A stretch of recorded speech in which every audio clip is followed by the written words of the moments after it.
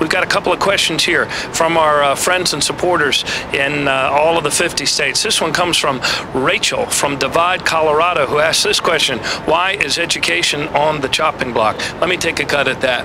Uh, Rachel, what's going on right now is a, uh, great clash between uh, a lot of people who value their ideology a lot more than our country's future. This is the greatest public private partnership in the history of the world, the United States of America, but it's not free. Every generation's invested in the success of the next generation. But right now, what we have are, I think, sadly, a lot of citizens, including some of them in uh, uh, the, the proud party of Lincoln up the road here, who have come to confuse what it means to be an American citizen with what it means to be a member of Sam's Club.